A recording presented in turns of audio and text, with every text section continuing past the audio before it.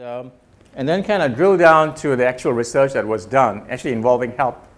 And, uh, and part of that uh, research involved the expansion of the, the, development of human, the human mind and consciousness from very, very, very current research in neuroscience. And, um, and some of that actually was done here. Uh, and then in terms of the publications, it's actually leading to a book which will be ready by I think around January or the you know, winter or spring of 2020. Uh, I'm the chief editor. Uh, it, I think Dr. Chan and Jeffrey is contributing. I have eminent people involved in this project. And the title of this book is Advancing Innovation um, for International Graduate Education with Sustainable Outcomes. So now, for us, sustainability is not just about green and the ecosystems, but also relationships, culture, and human development. Uh, a lot of my talk, again, I'm trying to ground this to find traction, if you will, uh, in terms of the actual publications which I've had in the last 10 years or more. And that looks at the development of human potential and a very radical shift in the teaching learning paradigm since I've been teaching only in graduate school, it's kind of limited to the graduate school environment. Uh, nonetheless, it is also being used in uh, elementary schools in the United States, uh, secondary schools, and so on. And so I shall give you examples of how an, a technique of transcendental meditation, in this case, or TM, uh, as was brought by Maharishi Mahesh Yogi, and as being promoted around the world. In fact, we have a school in, in Kedah, uh, a Chinese school, which has taken this up uh, from, from the local TM movement. And they're doing so well. And these are kids who have come from marginalized families, a lot of dysfunctional families. They're doing so well. Uh, I'm thinking, and I haven't really got down to it, in approaching uh, Mitra, uh, which is the Indian agency for I think under the Prime Minister's office, right? Uh, we did present to Professor Ra Rajendran, I think you know him, last year, but I was in the US, my colleagues presented to him and he was impressed and they wanted a proposal. My niece, I don't know if you know her, her name is uh, Subi. And she's Datin Subi, she's married to Dato Sundar Subramaniam, who's the son of, you know, my brother-in-law, right? Dato S. Subramaniam, who's uh, having minimal consciousness right now because of an ailment. So nonetheless, I've been more or less in charge, but I've been so busy with my own graduate school stuff here. I've been publishing and I teach about two courses a semester, right? And um, so this book is a fruition of my time at HELP and the time in the US with the University, of Mauritius University, uh, plus my experience in global consulting firms. And to cut to the chase, let me start, as they always do, with storytelling, an anecdote. Um, when I was, after my PhD, I was recruited by technology consulting firms. My PhD was in learning sciences, and I went through three departments on a fellowship at the University of Iowa. Uh, prior to that, I did an MBA in Mauritius University on a scholarship. And prior to that, I did a bachelor's and master's degree. The bachelor's degree was in psychology, um, accredited by the British Psychological Society, and a master's degree in media and technology uh, at the University of Leicester. And I went off to America. And after my MBA, I felt I could find a, a, kind of magnetism amongst my business colleagues, which I didn't find in the PhD classes in psychology, even though we're interested in people. So anyway, I did get a, a scholarship and a fellowship. And through the psychology department at the University of Iowa, which is ranked in the top 25% in the US, uh, and then the business school, and then the Psychological and Quantitative Foundations at the Lindquist Center, uh, the School of Education, and they funded me for my research. And uh, they are famous for testing. You know, Psych and Quantitative, Lindquist Center, they have a gifted education center which is world famous. Uh, and they have, uh, they put out the ACT, all the college testing. So my research in my PhD was in schemas, how to unpack schemas, mental structures, uh, and it was difficult to simulate in a laboratory because schemas, social schemas have a real world kind of contamination, but nonetheless, I was able to simulate the evolution of a schema. And what it was discovered was there is not a monotonic performance function. The more familiar you are with a subject or content, familiarity and, and exposure leads to greater performance. That's not true. There's an up and down kind of wave-like function. It's a quadratic function or a polynomial function. So then also uh, I was, as I said earlier, I was recruited by consulting firms. One is now rebranded as Accenture, and then SAP, a German firm. And they take a lot of smart people. The first thing that I noticed was when I was recruited by Accenture, the, an American partner told me to hide my PhD. this is interesting. We don't want people to know that you have a PhD. So, I mean, I understand where they're coming from. They, they're not arrogant, but they a little bit disillusioned with education. Uh, and he says, you know, and over the years when I was in consulting, I, I meet CEOs, and they always tell me this limit. I don't want graduates who can understand articles, uh, comprehend articles. I want people who can synthesize, can evaluate, can adapt best practices, make the leap of faith, make decisions with Im imperfect data. Now, to be honest, they are right. You know, so the way we are approaching education is actually very much oriented towards this misfit, this disconnect. It's not about how intelligent you are or how much you know, that's irrelevant. It's how you use information, how you apply. Right now, in environments like Malaysia, China, India, Southeast Asia, ASEAN, they are going through rapid transformation, right? And it's almost like you don't have time to think or reflect. We have been a trading nation. Malaysia is one of the top 20 trading nations, as you know. Um, so the, the, the kind of ethos, if you will, is about uh, packaging, branding, uh, co-opting with partnerships, even in education, right? So we are not familiar with the process or the inputs we're familiar with, we're brand savvy. You know, we're not a knowledge society, right? To be a knowledge society, you must have a respect and a stature towards knowledge and teaching and education. We have gone from exporting commodities, uh, palm oil, rubber, tin, and manufacturing now is a major part of the economy, but it's also still commodities, semiconductors. So we're stuck in the middle income trap, as you know. But we are very brand savvy. You switch on the radio, you watch television, everybody is very cool in their pronouncements, in their language. BFM is so cool. 98% in their own admission is American content, but everybody's shouting Malaysia. But then if you go around Malaysia, you find that this, you know, Malaysia is not Bangsar. Malaysia is not BFM. There's a 70% rural uh, kind of a, uh, psychology, which is quite different, and it kind of creeps into the education and policy and so on. Uh, and so we are actually, this is nothing wrong, it's just that many, like many Asian countries, except that Malaysia is more complicated because it's multicultural, we are compressing our industrialization. What it took Western Europe 300 years, we're trying to do it in 40, 50 years.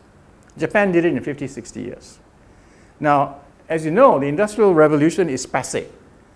Great Britain was the first country in and the first country out. It's a hollowed out economy. And as you know, America is also in the post-industrial stage. We talk about fourth IR. I shall come to that later.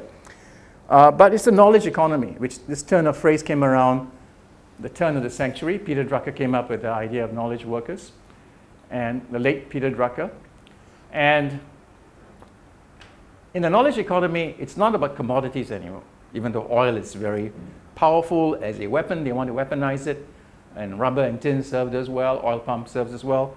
But it's about how you, just like raw material, you process, you extract the ore, you process the ore, right? You take rubber, natural rubber, you process it into latex.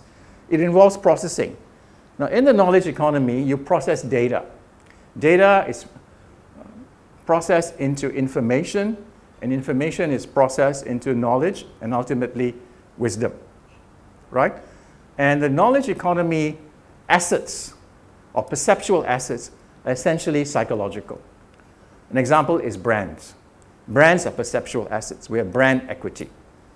And so at the turn of the century, this concept, the knowledge economy came, and then we had the dot-com rise and crash. But nonetheless, it has not just survived, it has actually flourished. Uh, much of our work has migrated into the knowledge economy space. Even education, we're using handheld devices, smartphones, and so on. So I wrote a paper on the knowledge economy around 2003, 2004.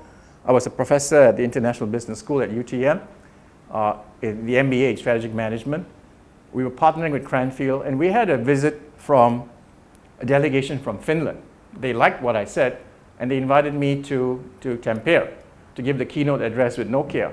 So the paper got published, and then I was invited to Geneva, the Global ICT Summit. And so I have a model which I kind of gleaned in my consulting experience in tech firms, finding why some people can quickly connect the dots, synthesize with imperfect information. Some cannot, they are fragmented. If I take them out of their functional roles and put them in a new domain, they cannot thrive. But there are some who can, right? And so I realized there's a different kind of mechanism involved in the brain, right? A lot of our skill sets today uh, in education are meant to be wide and deep, which is what education should be.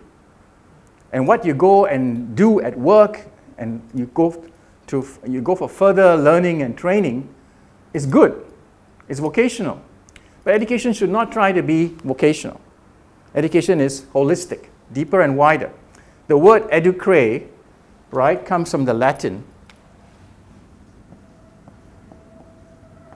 means to rear, to bring out. It's not about shoving information into you. But let's be honest, our education system is shoving, cramming. Students are actually being uh, regimented to find out what's coming out for exams, right? And even though the government says we must go to higher order thinking and publish in higher order thinking, uh, the reality is the, the whole system is oriented towards exams, papers. So in the consulting environment, I found that nobody does brainstorming on their own. People work in teams. You have to work in groups. You are in groups where people may hate each other, but they have to deliver. But nonetheless, there is learning. We learn how to be, to unify diversity. We learn how to harness the diversity in viewpoints, and they do very well, right? Those who are stuck in a particular concept, theory, or model cannot unfreeze from it, and they don't advance. They cannot problem solve. And those who are in the functional department, right, uh, they may have 10, 15 years in oil and gas or banking, and that may intimidate, let's say, a fresh MBA or a master's degree holder. You know, they will say, who are you? I've been in this line for 15 years. You have an MBA, so what? And to some extent, it's true. But the moment I take that oil and gas veteran out of context and put them, let's say, in financial services, they'd be lost. Whereas I take the MBA after six months or a year and put them in financial services, they will learn also, they have to learn but they will adapt faster. So I realize there's two different kinds of knowledge systems. One is a functional type, domain dependent, right? People, organizations are organized into departments and units. And another one is basically the ability to synthesize, to problem solve. Now, there is already this sense of this dichotomy uh, in the uh, vernacular. So people say functional skills, technical skills, and soft skills. You've heard of that, right? I don't like that kind of a distinction because when you say soft skills, people think it's not very powerful. It's actually the opposite. Problem solving, leading, communication, being creative, thinking out of the box, managing diversity may be soft, but they are very powerful. In fact, Google did a piece of research in the last three years. Uh, Google is, as you know, headed by Sundar Pichai, and the vice president of people analytics is uh, Prasad Setty. He's from India. And he said that uh, even with creeping AI, and you know, with big data, Google was the one who created this, this, this notion of big data around 2007. They, they consolidated everything. And they found that while they were very successful in promoting their tech people, the promotion did not come from technical skills. It came from the so-called soft skills. Now, I teach selection and placement, and I teach talent management. And so they are right. And so while the AI and big data is there to facilitate decision making, uh, in terms of human capital, it is, they found out from the engineers that they don't want machines to make decisions about people. They want people to make decisions about people, in this, case, promotion. We can use the data, but in the end, we have to resort to our wisdom. And this is Google. Google is not a philosophical NGO. Uh, they are in a very ruthless industry. Now, there are many other industries. One is Infosys, which has gone through a, quite a long saga of succession planning, an Indian company, you've heard of it. But before Alibaba, it was the most successful IPO in the NASDAQ. Yeah, Narayan Murthy. And uh, they, they went from 250 US dollars to 29 billion US dollars. Most Malaysians have not heard of this company. They're a knowledge company. Yeah. They have taken on my old firm, Accenture. When I was in Accenture KL, my, my boss was later the Asia, Asia, from country manager, he was in charge of Asia. He laughed at what's going on in India, but in India, they don't have the infrastructure. They were looking at Dalian in northeast China. Uh, it's not infrastructure like roads and buildings, but it's what's between your ears. And today, Accenture has its largest talent pool doing the heavy lifting in southern India and they are very diverse. They are one of the top preferred employers around the world, along with Google. And, and they have a CEO who is a lawyer, a woman. And diversity and inclusion is very, very much a, mandate, a mandated policy in human capital.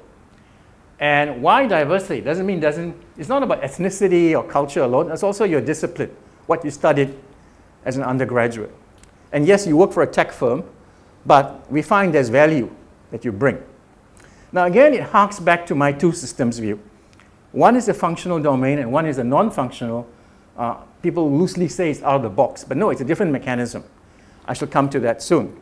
Now I'm going to zoom out, if you will, and look at what I call change drivers. Now, if you're taking notes, you want to be, bear in mind there's a, there's a difference between a trend and a driver. I'm going to sit down for a while. Uh, a fad, let's start with a fad. A fad is shorter cycle. Okay? It's fashion. Can you leverage a fad? Can you make money from a fad? Yes, you can. A lot of the millennials, they will follow fashions. Some hipsters will say, no, I make my own fashion. But from songs, from popular culture, ringtones, you can download. But a fad is short cycle. It comes and goes quickly. Next is a trend. A trend lasts longer. Halal, halal Chinese food was a trend when I was growing up in Malaysia, but now it's a driver, right? A trend lasts longer than a fad, and suddenly you can leverage it. In fact, to find a non-halal Chinese restaurant in the Klang Valley is harder, isn't it? Right?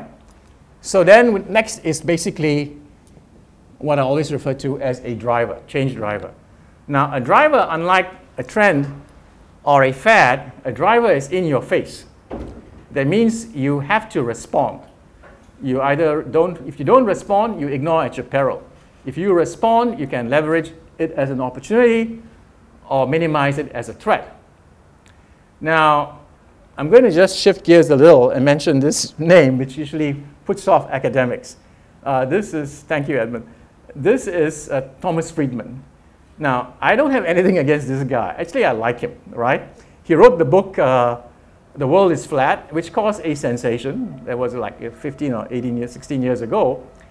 And people all say, oh, this is, he's just a journalist, it's superficial, da da da. But to be fair, he raised something which was not known. The outsourcing industry in India was completely missed by academics. Now, we all know of China roaring ahead, and even in the 90s, we knew by straight line extrapolation the Chinese economy will grow under Deng Xiaoping's reforms. But nobody expected this tech phenomenon in India, which came after Y2K.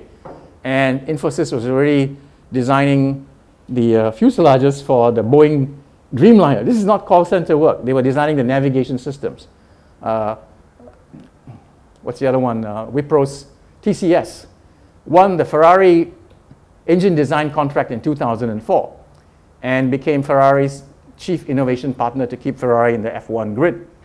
And not many people know this. So now I'm scratching my head and people are wondering, wait a minute, whatever happened to functional skills, uh, domain skills?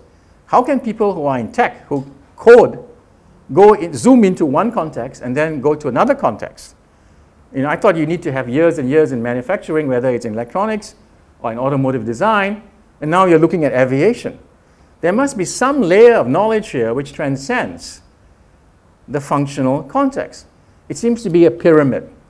The ability to code is key. Now, everybody says when I was in tech, oh, coding is a commodity. Now, that is completely false. Yes, people can learn how to code, but to code well is not, that's not a commodity. Some people can get it in 10 minutes, some people will take 10 days. It's an aptitude, what I call fluid intelligence, which I shall come to. Right? So when you are able to identify, to isolate, identify, going in this sequence, isolate, identify, um, combine,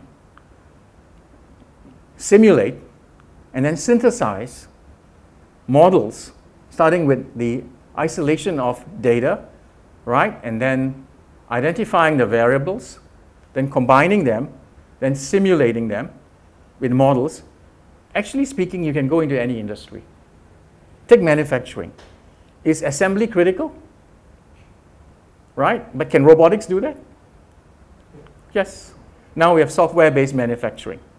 Code is embedded in the manufacturing. Right? China wants to get out of this factory model. And already it's, a, it's been a service sector economy for over 10 years already. Most people don't know that. India wants to get into manufacturing because even though it's low level, it's jobs for the masses. Right? You lift hundreds of millions of people out of poverty.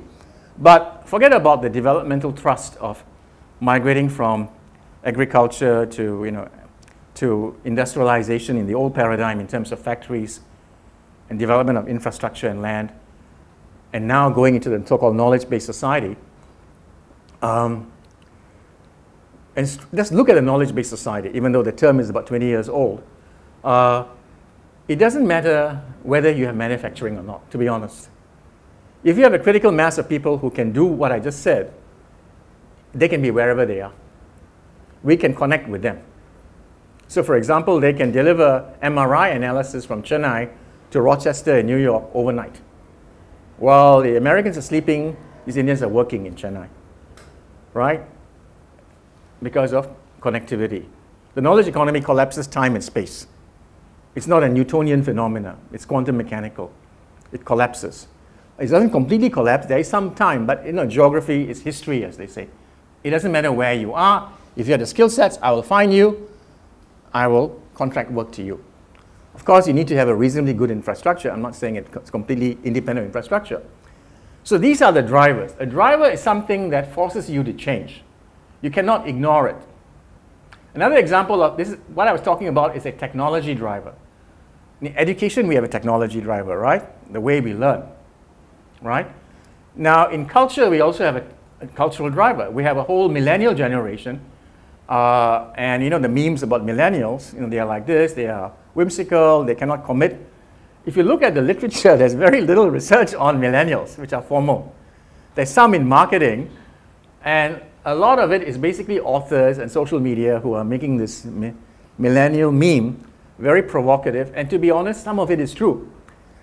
And so I supervised a gal, and she's at Taylor's now, and she did a study on Malaysian work values, but she found it kind of matches what uh, the memes are, though very little research formal research.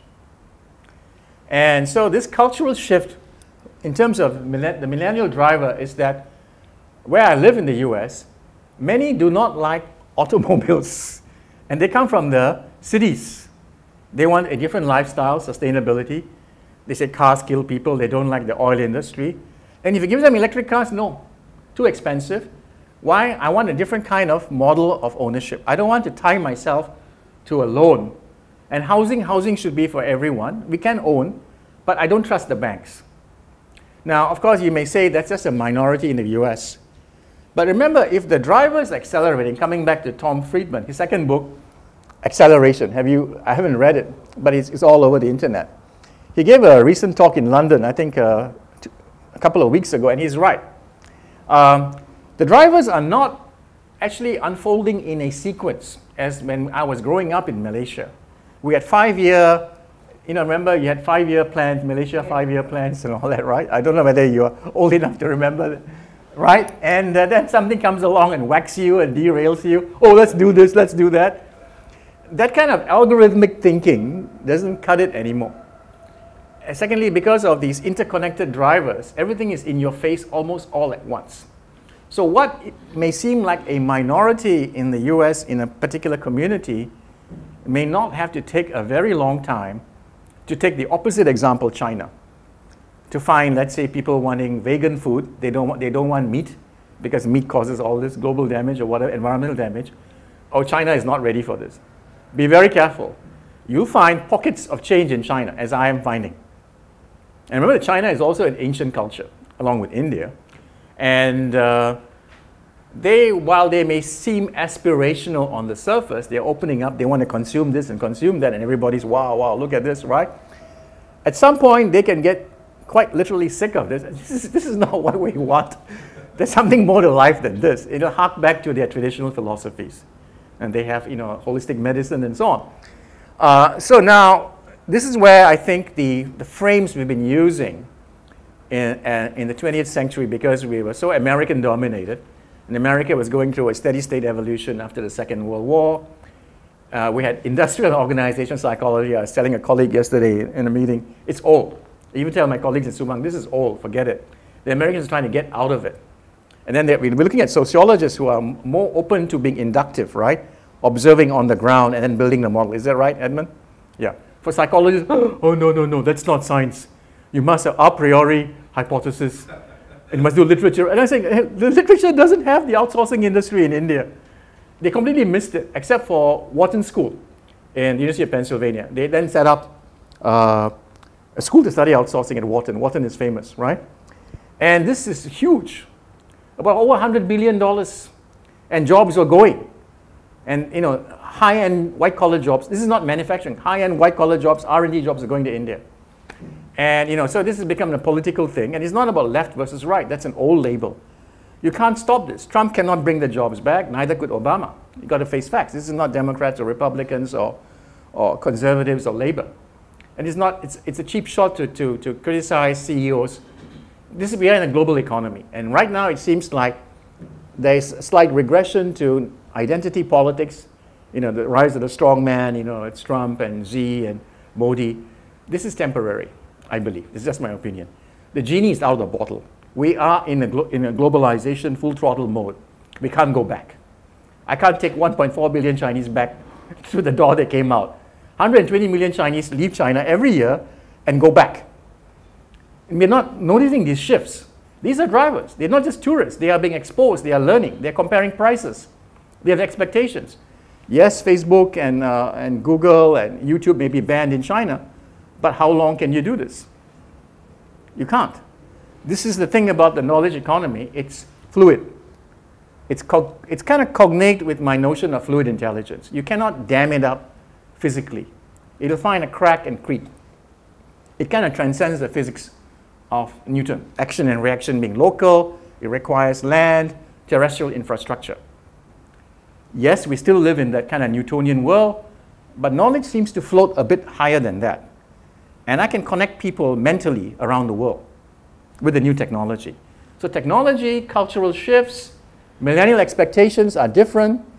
Uh, the notions of steady state sequential unfoldment as we go from one era of economic development to another is probably not so straightforward.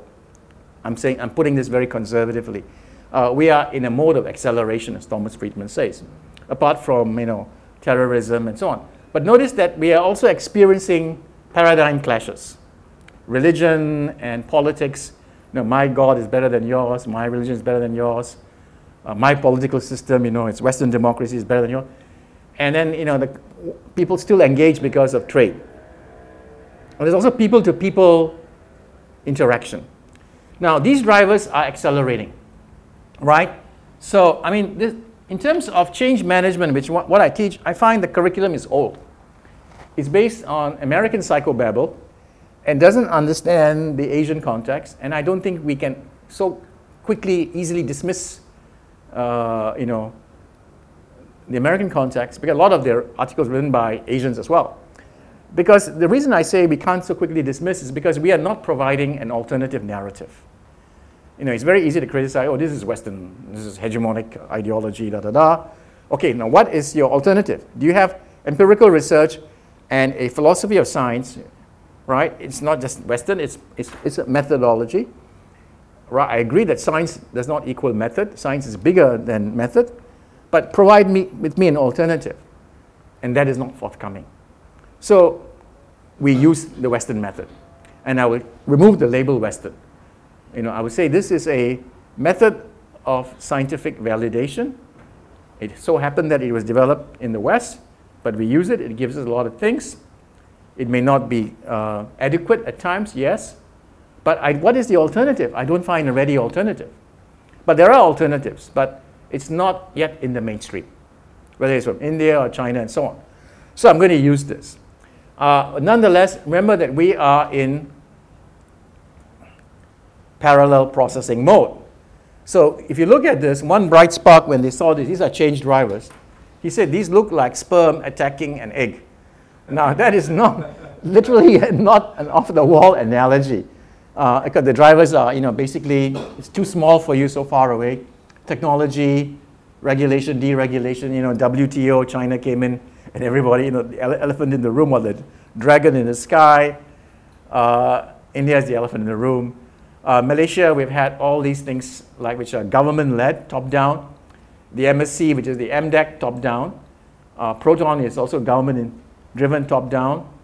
Um, the deregulation of the uh, telecommunications market government-led.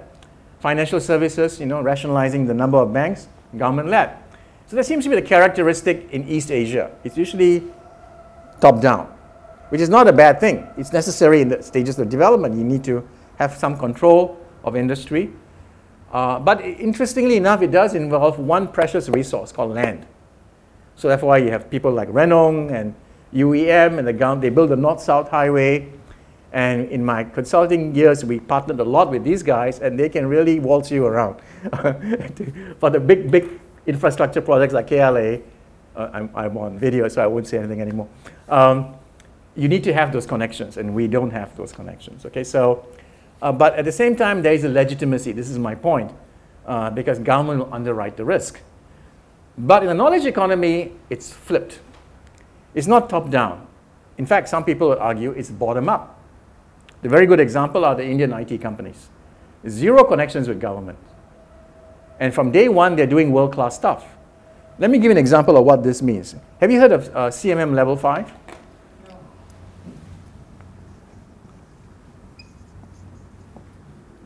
CMM level 5 is Carnegie Mellon mat Capability Maturity Model, CMM. It comes from Carnegie Mellon. University. Now, this is the accolade in the technology-enabled services industry. It's not just about coding. It's about managing virtual teams, delivering to aggressive milestones, right? Uh, with deliverables. And this is, a, you know, one, over a trillion dollars, this industry is a roiling industry, ruthlessly competitive. Well, what model is it actually? Uh, capability maturity model. Just, you know, you Google CMM level 5. There are about 105 to 106 CMM level 5, the highest level. It's very hard to get. About 95% matur maturity model. Maturity model. yeah, But in relation to what? technology enabled services, Oh, okay. which means it's everything. everything involves technology today, from education to banking to all the traditional industry domains. Remember, I started out this morning saying functional, then there's something else that's floating, another layer of knowledge.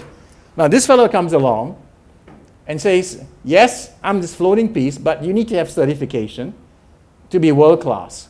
And if we are going into the outsourcing industry, you know, you could be bare feet in Chennai, walking on a pothole road with elephants and, and cows. I can't trust your competency, that kind of thing. Okay, but here's the thing 95% of the CM level 5s, can you guess from where? India. India. Perfect score. Any help from government? Zero. They tried this in Malaysia very hard, only one or two, even then from an Indian company. China tries this. So people are now saying this is rubbish. No, I think it's sour grapes. It is very powerful. Level five, leadership, team management, integration. You have to be very tightly knit. So I'm noticing now, hey, hey, hey, what's going on here? We are bypassing something. We are leapfrogging. Okay, another driver, Golian, I think, in CAS. You heard of CAS, but I'm going to use acronyms because I need to paste this along. CAS is Chinese Academy of Social Sciences. You heard of them, right? Very prestigious. 2004, he did a study.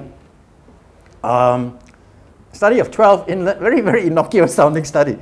12 inland cities in China for internet adoption. But the findings were phew, phenomenal. He found that the um, uptake propensity, that means the adoption of innovations, uh, is immediate. There's no lag between availability and adoption. You know, the old marketing curve that they teach in business schools, like this, right? And then this is diffusion, right? And this is time, and this is percentage adoption or whatever. There's a lag. They're early adopters, sometimes it may intersect, you know, interact. But here it's collapsed into one. Now here's why, why, why, why do I say that? The sexy coastal cities we all know, Shanghai and you know, Beijing and Dalian, Hangzhou and all that, these are inland cities. And the adoption is not based on size of the city or the demographics of the individual level of education. So it's not the traditional developmental evolutionary pathway. It's leapfrogging. Do you understand what I'm saying? As soon as it's available, they take it. Now, how many of you teach students from China? Do you see how fast they, they get it, right? And I'm looking at the Malaysians, I know there's, there's a difference. Now, of course, you may say that they are just procedural thinking, da da da, but the hunger you can't deny. And same with the Indian students. We are living in the 1960s, and some of my older generation, my fathers, uncles, Selangor Club is the Mecca. Very colonial. And I really believe, even amongst the younger people, they fantasize that the Brits will come back. I found a 25 year old on, on oh, this is being recorded, I shouldn't say this. People think, you know, why Japanese car like Lexus so much attention in Malaysia? And they're talking about Jaguar. Jaguar is, you know, a trollop, uh, uh saved by Tata, you know, it, you know, and uh, they're having still problems, yeah, Land Rover. You know, and so we still have that mentality. And there's a reason why Malaysia is in a world of its own in some respects, you know. Um, but coming back to this, I think you get a sense of what's, where we're going. There's other drivers like... Um, I just have two questions. Uh, JITI, what is that uh, just in time. Just in time. It's manufacturing. Now it's also in services. That means I need information, right? I am, let's say, a loan officer in a bank. I don't go to the office. How many of you have relatives working in a bank? You know, they, they, do they go to the office? Those who are going, you know, they have to get mortgages, that's, that's how they're measured, make loans. They are running around. So I can give them all what they need on this, even competitive intelligence. And this is not new, Jerry. This is uh, 20 years old. When I was in SAP, already we had this. It's just the, the people are not using it. I must see you in the office from 10 a.m. to 5. I don't care. You have the numbers, you deliver, you manage the process of the leads. I'm happy. Now, this is not just a Malaysian cultural artifact, to be fair, it's also a German thing. Let me give an example. I used to work for SAP.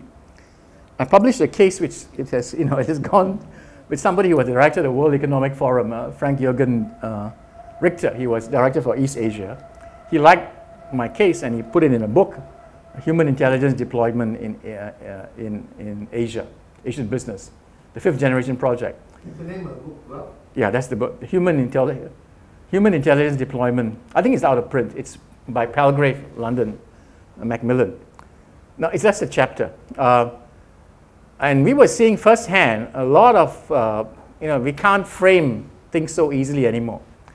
Uh, for example, SAP is a German company, right? And um, the man who recruited me, and I was headhunted, created a role for me, and then this is, is this being streamed, is it? Uh, anyway, it's published already. And he was fired that day when I showed up for work. Now, they brought all the numbers in. Number one in ASEAN for revenues. Why, would they, why did they fire him? Because uh, he wasn't documenting. Germans, that's very important. Culture clash. yeah, seriously. And then I saw the change in culture. I, I was open season first. He'd, I can go into other people's accounts, but I don't take their commissions. We organize along verticals, you know, oil and gas, financial services, but I can go across. They will get the commissions, but I can open doors for them, and we can get. And but they were all very frightened, even though nothing is being challenged. They're still stuck in those silo mentalities. And then the most remarkable thing was how the culture shifted in their attitude towards the previous leader. They were now saying not nice things about him, or he was like a dictator. Before that, he was fatherly. So we are a very high power distance culture still. You know what is that, right? Hofstede's very hierarchical, very feudal, very paternal. Most people, you know, fall off the chair when we hear Hofstede saying Malaysia scores very high. No, no, no, we are warm and friendly compared to Singapore. No, we are confounding two different dimensions. We can be warm and friendly, which ameliorates the hierarchy. We don't feel it. Boss is still boss. Titles are still, you must have Tan Sri, Dato, must call somebody doctor, that sort of thing, the rituals. You know, this is the first time in my interaction I'm in a room like this, otherwise it's me and then desks in front like that. You know, it's very hierarchical. So these things are getting in the way. Our frames for understanding development have been dominated by economics. And psychologists came along in the 20th century, and to, to be fair, they gave us a lot of insights into uh, work psychology, but it was in a steady state environment of the US in 50 years, not much big shifts. At the turn of the century, we got whacked. Big shifts accelerating, change drivers. And the traditional I and O paradigm in psychology, I have to be sorry, I have to say so, doesn't cut it anymore. And we have to look to our sociology colleagues, our anthropologists, our ecologists to understand in an era where everybody's you know, in cheek and jowl with each other, uh, working, learning, mingling.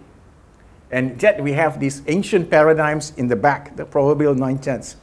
We don't want to unpack those because, oh, it's too not convenient for me to get to know you really, or your culture, or your spiritual values, religion as long as we can you know, interact superficially. But those things are not going to go away. They will manifest like a jack in the box. And they will say now, how dare you assume these things? Uh, this is not my priority. That's your priority. Value systems clash. I've seen this firsthand. And I realize our graduate schools are not preparing us. And the irony is we are in the vortex of the sea changes in Malaysia, around the world, in Malaysia. We have front row seats and we don't get it. Do you understand what I'm saying? We are at the crossroads. The Straits of Malacca is the busiest sea lane in the world, among, uh, one of the busiest, right? And we are a multicultural country. We have gone from agriculture to the knowledge economy in less than 100 years, 50, 60 years. You know, so we are leapfrogging as well, but at the same time, we're not an extreme culture. We can compromise, give and take, soft perhaps softer than uh, China and India. And maybe that's a good thing because it, you know, we, it, we can, it allows us to reflect. But I don't think we are really doing that, taking advantage of that. We are just rushing like consumers. Education is like uh, fast food, co-branding, right? Uh, you must have a foreign partner, Aussie university or a British university, right? We're not looking at the inputs and the processing. We're looking at the packaging. We are brand savvy. So there are these disconnects, but nonetheless, it's still a comfortable pathway, if you will, for migration, while these drivers are accelerating. Now, um, fundamental to understanding and framing what is going on in the world, everyone says is education. And then that, but that's not enough. As my colleagues tell me, CEOs tell me, Mohan, what is the use of an, an MBA? What is the, I mean, PhD is even worse. You don't even dare mention a PhD. I, I have so many MBAs, they can't perform.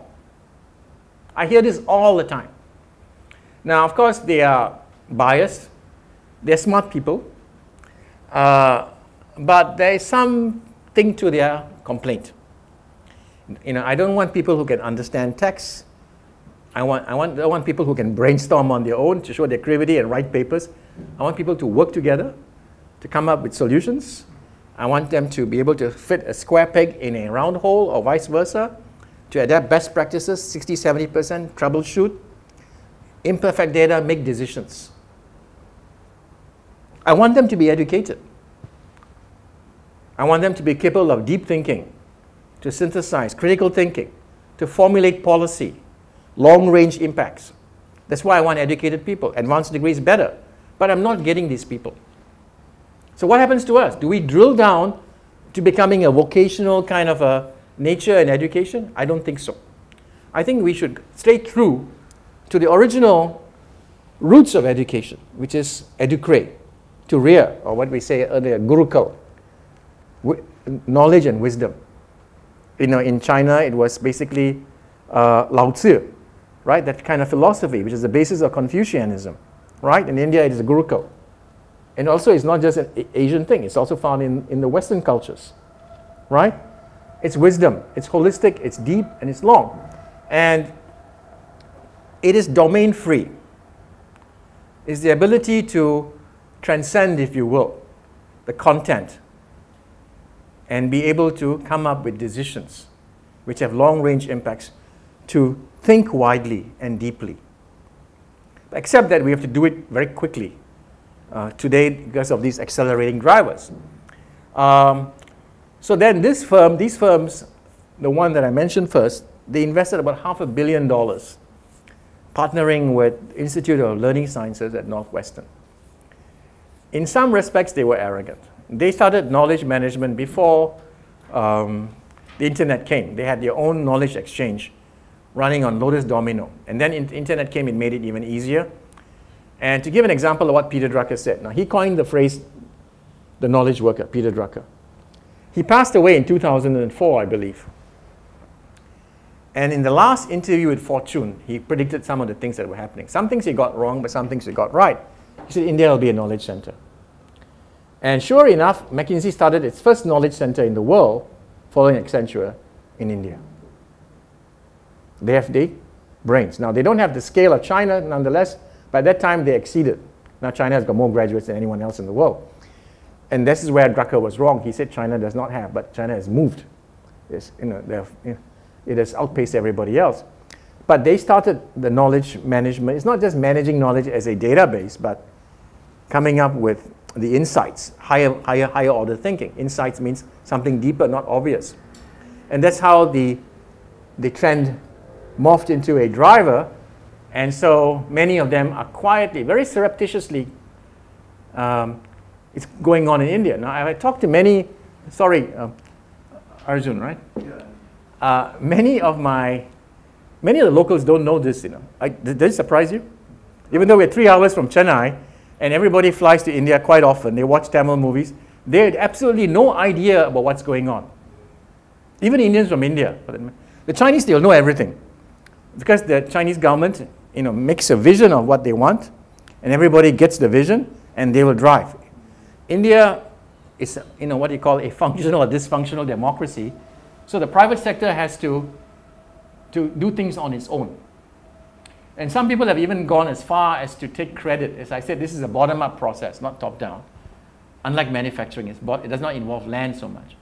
Some people have gone as far as to say the, the success of these Indian tech companies is because the government didn't interfere. I think that's wrong.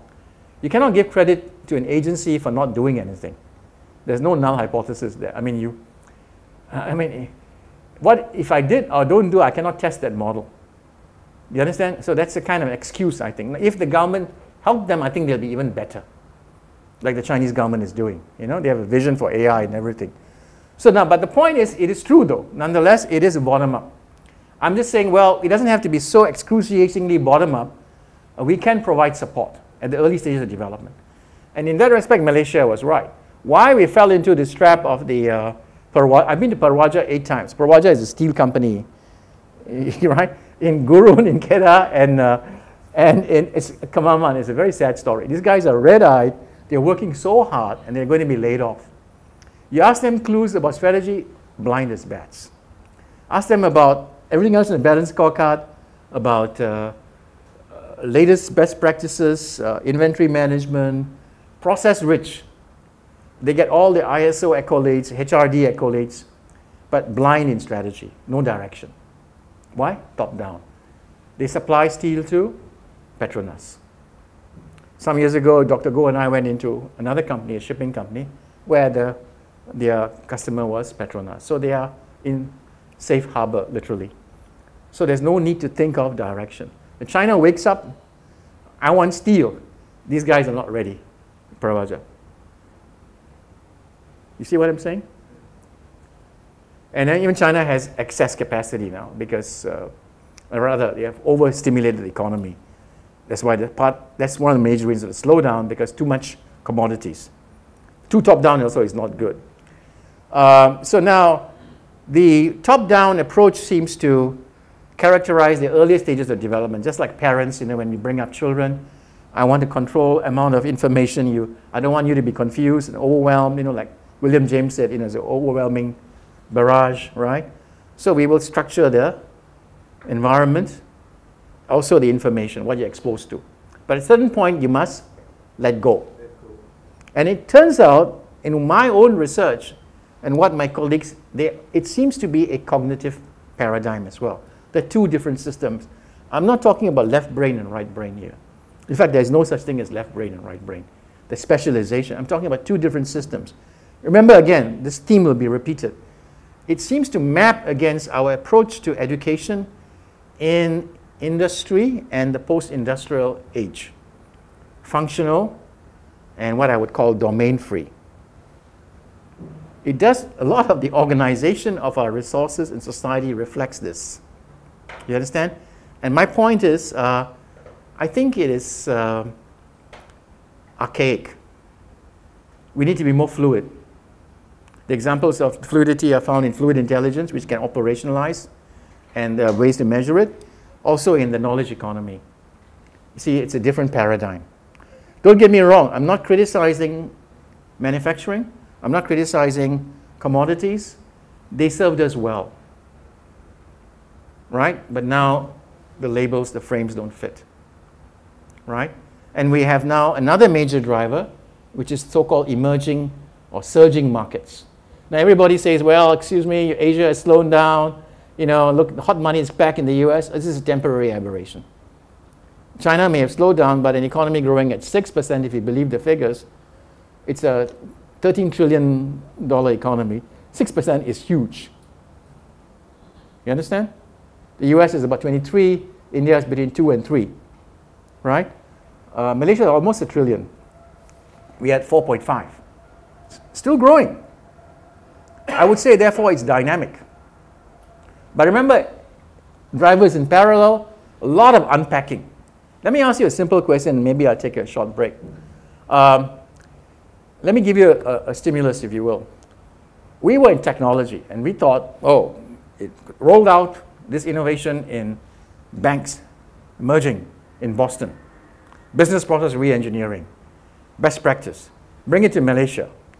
Is it just unpacking a box and apply the best practice? And we have smart people, people with MBAs and even PhDs who came up with this. Excuse me, it's not working. not working. Then what, number one, number one criticism always comes out, our culture. Oh, wait a minute, culture? You mean there's a, this is, I thought this is culture free. This is about procedures. This is not about, you know, what is your favorite actor or, you know, what religion are you? This is about following a methodology. It's because you have to change the attitudes to work, uh, to share knowledge, what to disclose, what not to disclose. It's cultural. These are the norms. But oftentimes, it is also used as an excuse. What I just said was legitimate, but sometimes it's not true. It's an excuse to mask other things. Could be just inertia, self serving inertia. Let me give you another provocation. When it comes to consumption, is there a problem with culture? To go and drink in Starbucks or wear fashion, whether it's China or India or Malaysia? You don't think so? So, why, why this uh, strange uh, disconnect? One is work, one is hedonism, right? Consuming. Work, nobody likes to work so much. And now I'm going to make it complicated in your life. I'm going to say, I'm going to redesign your organization, no more departments. I'm going to promote people who have less functional skills, less experience, but they can fast track in talent management, resentment. I've been an engineer in logistics for 10 years, and you're promoting this guy after two years. What's more, he's young.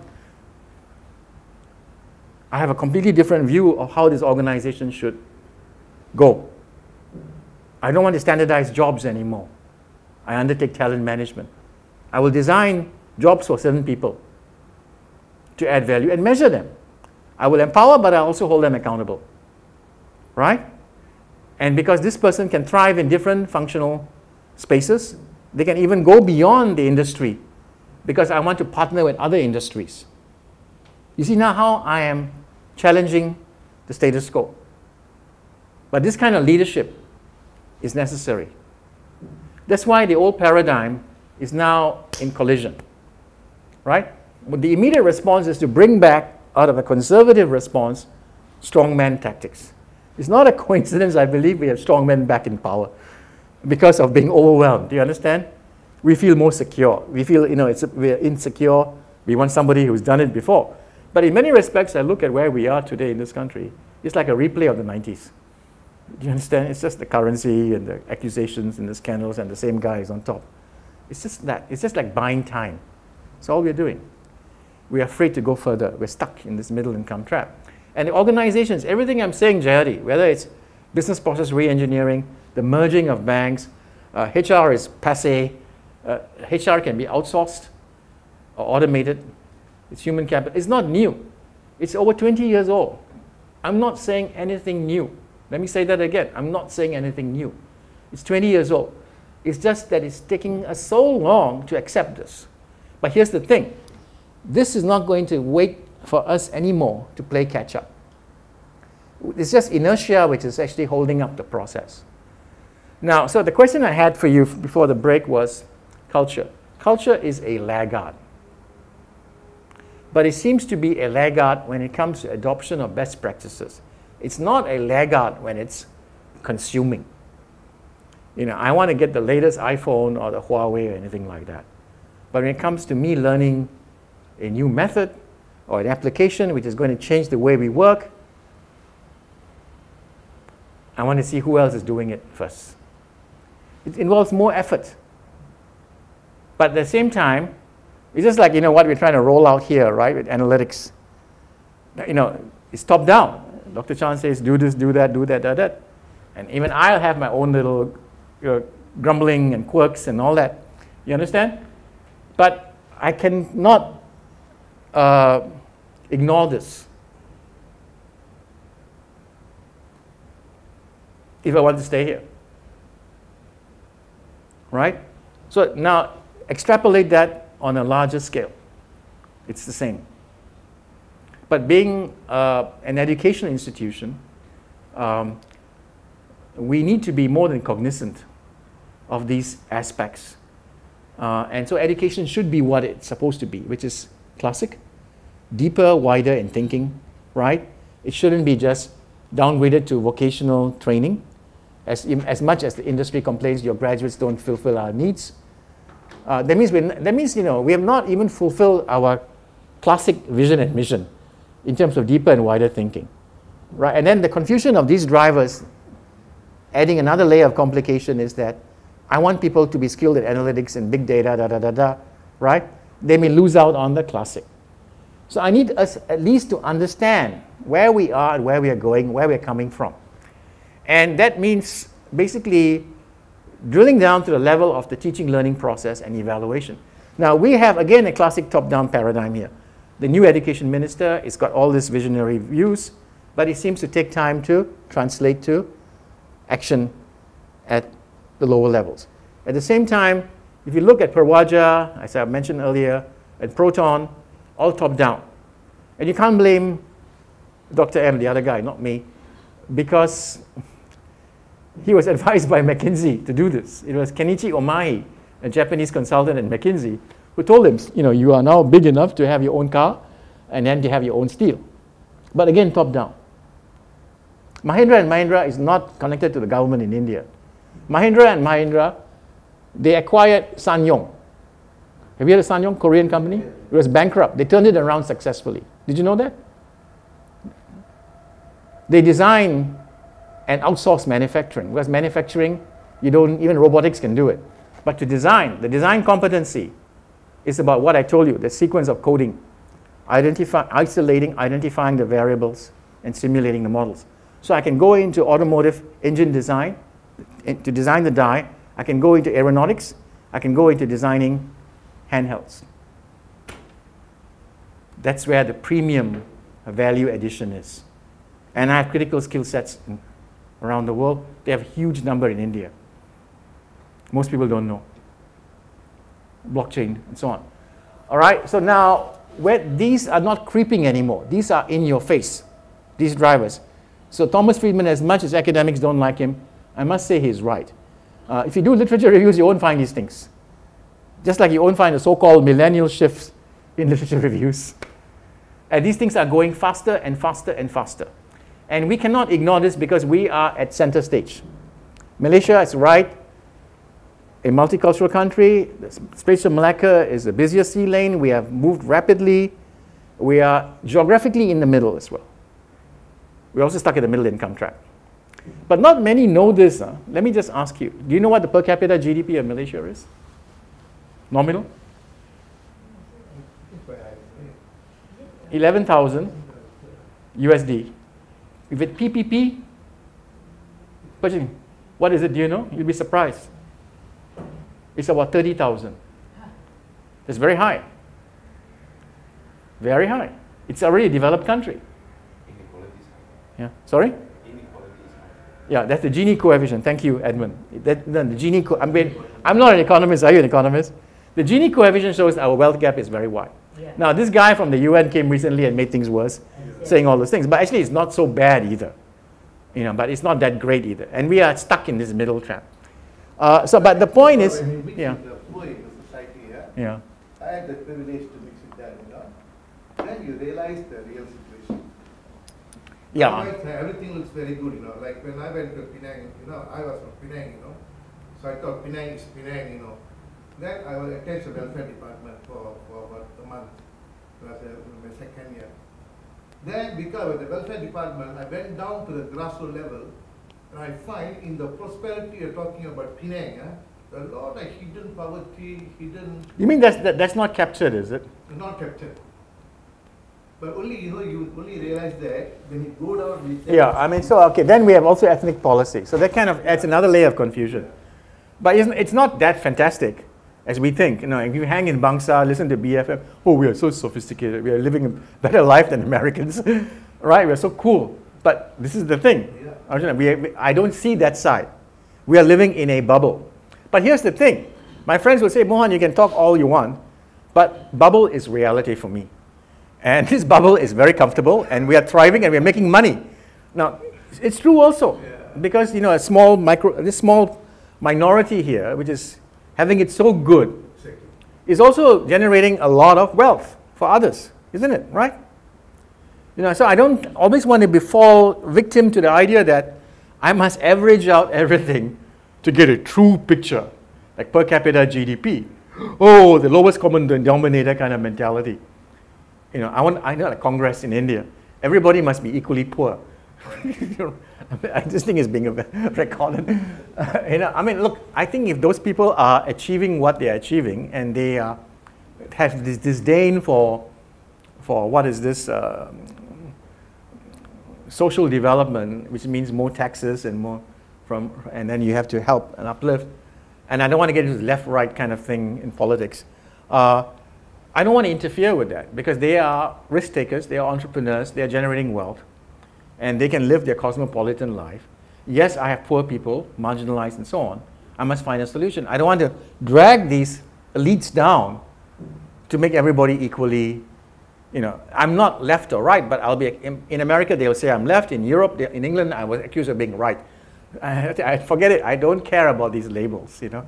I was at the University in England where they are so left when in America, it's just the opposite. And then it's, you know, then I realized this is really got nothing to do with me. Because we are developing so fast, we are bigger than these labels. Do you understand?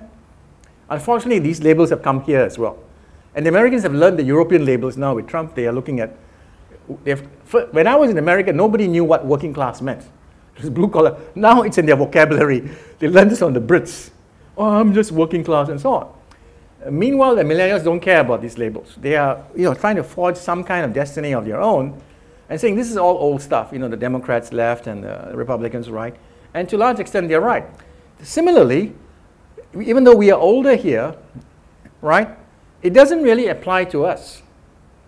We can be traditionally Asian, you know, whether Chinese or whatever, proud of our cultural integrity and want to maintain that, the mother tongue and so on, but we can be futuristic in our thinking. Do you understand? Being, being open to entrepreneurship, technology, being bold, not clinging to, oh, the, you, know, the, you know, what happened in the 30s and 40s and 50s in the UK or in Europe. That is not relevant to us. There is no trauma over the great humiliation in China. There is no hatred of the so-called genocide from the Mughals in India. There is no hatred of the, the British rule. They get along well. There's warm, in fact, they're very warm and friendly to the Brits. They don't say, oh, you did this to me, you did this to me, like in other parts of the world. Same here. There's no kind of resentment against the, the Brits. And I don't hear the Chinese complaining about the Opium War or, or, or, or, the Great Humiliation. The message I'm hearing and I'm sensing is, hey, respect me, treat me as an equal partner, mind, mind your own business, let me do what I want to do, let me conceive my, let me fulfill my values, and let the trajectory of our development continue. Don't judge us. This is what I'm sensing. You understand? But unfortunately, the frames we are using come from that part of the world. And again, I'm saying I'm not against that. It's just that we have not provided an alternative. Maybe it'll take some time. So now I'm going to take a break, if you don't mind, and you can ask me questions just to. Then I will finish the session with showing you the, the, the, the model that I have, uh, and then I shall go into briefly into consciousness-based education. Dr. Chan was interested, but I never got around to I think, to be honest, I was afraid. he wanted me to do this here, and I was afraid because I don't know what people would think of me, right? So I left it, put it on the closet, yeah, and I go back and hide. Any comments, any questions?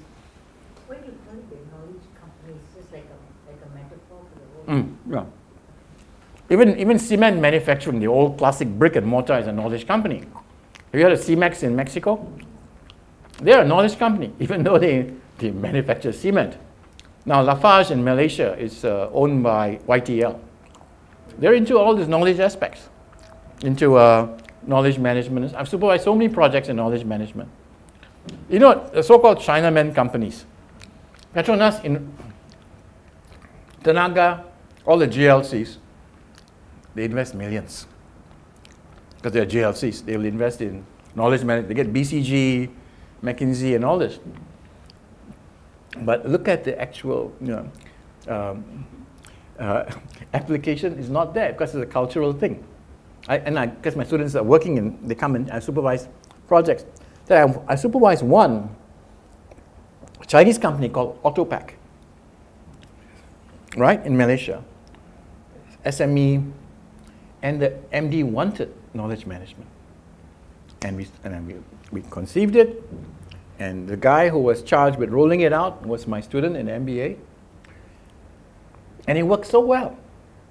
Why? It's top down, just like the GLC, uh, but it's smaller. And the CEO was driving it every step of the way. He wasn't just giving speeches and walking away. He wanted to, you know, drill it down, rolling up his sleeves. So, I mean, this is where I say culture, as they say, it's, it's just masks a lot of things. I don't like that label. I need to unpack that. So there are there is variation. There are Malaysian companies who are world class. You've not heard of them. And there are Malaysian, there is Malaysian talent which is world class. If I take some of my friends and colleagues here, and often look at the success of the ethnic Indians in the US, they're phenomenal.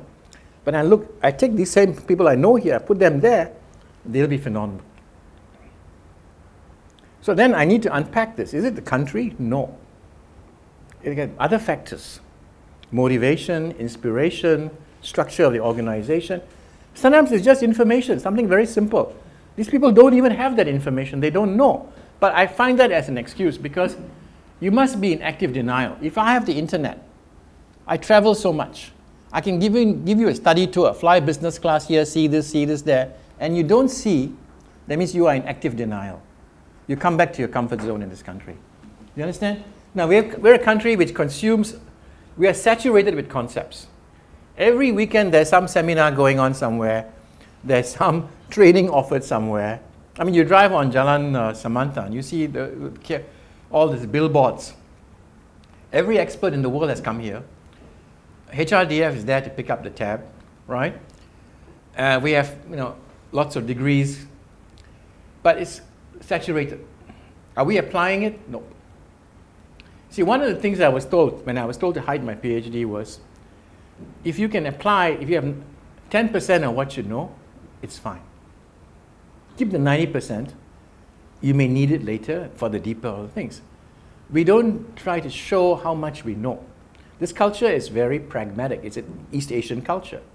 The people who are leaders in this country, uh, they, want, they don't want concepts. You know, I learned this from a guy called Kartik from India. We were working, he was in Leo Burnett. We were doing a branding project. Our client, my client got pulled up by World Economic Forum, by the same guy I wrote the book with, right?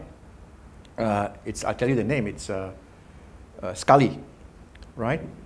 Uh, and they were a small incubator in, in UPM. You know, UPM has, in those days had an incubator, right? And uh, we came up with a brand essence, which they liked. And then the WEF noticed it at Davos, and he, they, they got this guy was the CEO up. The Global Leaders of Future platform, they have this platform, the, the WEF. And what we found is, and Kartik was right, he said, Mohan, in, in Malaysia, he's from India, he says India is different from Malaysia and east of Malaysia. East Asia starts from Malaysia. There's Malaysia, Singapore, China. We don't try to impress people with how much we know. I, it took me some time to process that. Uh, he's talking about the higher levels, leadership. We, we only reveal a few things. Now, India is different. They will take something which is black and white, and he says they will turn it into something gray. Here, they want something gray to be turned into something black and white. Do you understand? The tolerance for ambiguity is less. Now, he's right. Now, so while we think we are educated, oh, you know, we are educated, right? And then we go and mingle with the ministers or even the, the brash CEOs of the corporate world, right? It's almost like at some point they don't respect you. They think you're just a nerd. That's why we never try to. The word intellectual is a bad word in East Asia. It's almost like saying you are irrelevant. You understand? Very polite way. Now, the irony is we are in an intellectual industry. And then there's pressure now for us to connect to the needs, the urgency that these drivers are throwing up against us to apply. Right? And my response is we don't downgrade what we do to something vocational. We stay, in fact, we need to go back to the roots and re examine how we are developing knowledge and delivering it while being cognizant of these things. We don't respond with a knee jerk and downgrade. That means more skills, more skills, more skills. No, it's not about skills, it's something deeper. At the same time, pragmatism is a reality here. They're not interested in concepts. I learned this in Accenture when they partnered, even in America. Kartik tells me in India and America is different. They can be more intellectual. You can have debates, even with CEOs. But even I don't agree with him completely because I remember my partners telling me in this firm that they learned from a psychologist called Daryl Conner, managing speed at the change of light. He says paradoxically slow down, but you never tell CEOs concepts. They don't like concepts. Now, what do we do? We educate people with concepts. When we come up with a plan, to change the culture of our business process reengineering is a conceptual architecture. The first reaction is, how do I do this in my organization? It's going to take five years. I've got to change the nature of jobs. There's going to be resistance. First response is, don't call us, we'll call you. How much is this going to cost? 5 billion US dollars. And you see results at 5, eh, forget it. If you put a room full of CEOs in this classroom, I can talk to them about change management, latest hot buttons. I ask questions, they'll all put their hands up, they'll all give me the right answers. I'll ask them, do you want to do it? They'll politely walk out. So that means people understand the concepts. It's not about how intelligent we are. It's the motivation to apply is not there. It's not, that means the will, the willingness is not there. See, again, this is another factor that seems to be coming up. We have the knowledge, but we don't have the will. And these things are accelerating. Okay? I'm going to stop there. I want to hear your thoughts. Yeah.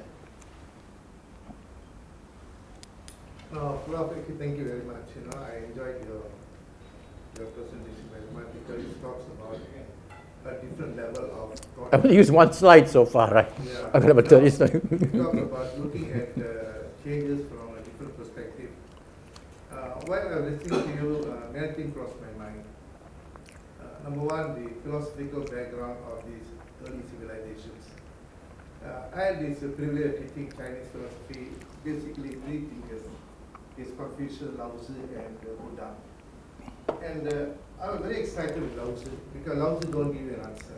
Yeah, it's the pathless path. Yeah, Tzu a pathless path, you know. It's transcendental. So yeah. I, I admire Lao Tzu because he throws challenges. He leaves you to find the answer. And I think that leads you to creativity, many kind of things. They don't look at the way they see one percent those kind of things. Okay. Now equally, you know, Prof, when I look at Indian philosophy, I also feel something like that.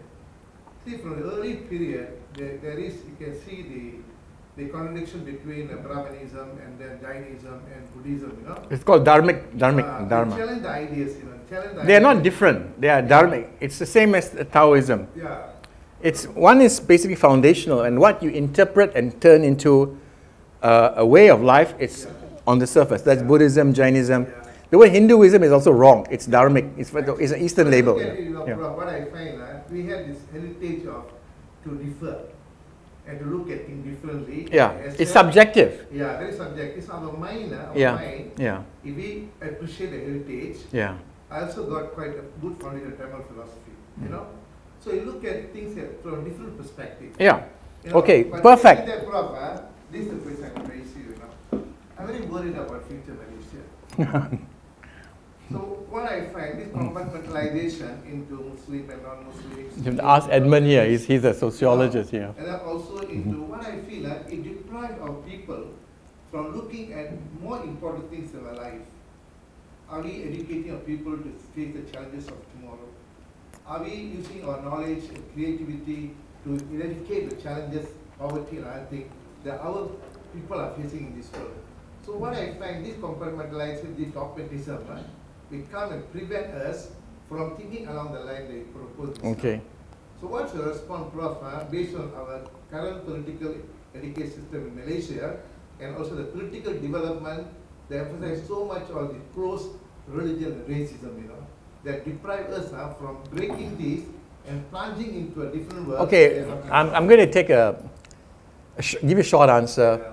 I'm positive. You want me to unpack that? Yeah, yeah, please.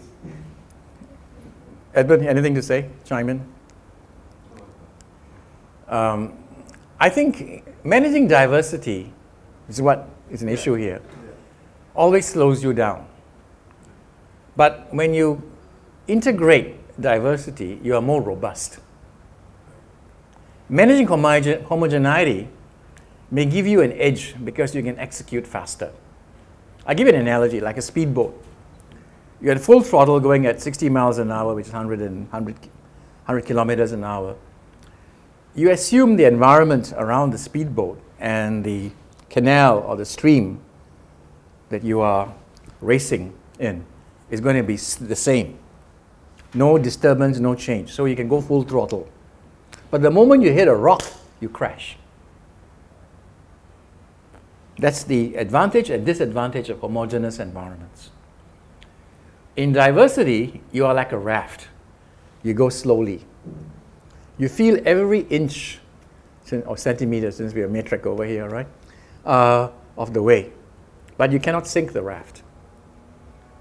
But it gets where it's supposed to go, it meanders. Now, uni- unity for me in Vedic philosophy, as you, as you raise, it's called Sanatana Dharma. Vasudhaiva Kutumbakam in Sanskrit means the world is my family. You break it down, what it means is everything is as near to me as the, my most intimate self. I see myself in all beings, whether it's a cat or my enemy, and I see them in me.